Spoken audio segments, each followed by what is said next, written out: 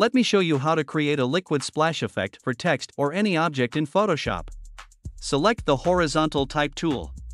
Go the to window and choose the character. Click the text color box, in the color picker choose white color. Just copy these settings.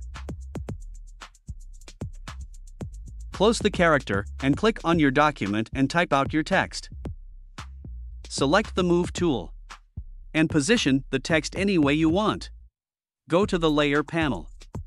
Click the FX icon and choose the blending options. Select the bevel and emboss. Click the highlight color picker and choose the white color. Click the shadow color picker and choose the black color. Just copy these settings. Select the gradient overlay.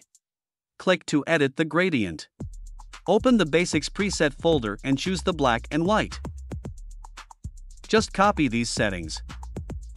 When you're done, click OK. Right-click on the text layer and choose the Convert to Smart Object.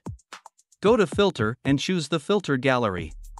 Open the Sketch folder and choose the Chrome. Make the detail 9 and the smoothness 10. Click the New Effect layer. Open the Artistic folder and choose the Plastic Wrap. Make the highlight strength 15, the detail 9, and the smoothness 7. When you're done, click OK. Go to File and choose the Place Embedded. And place the water bubbles image. Right click on the top layer and choose the Create Clipping Mask.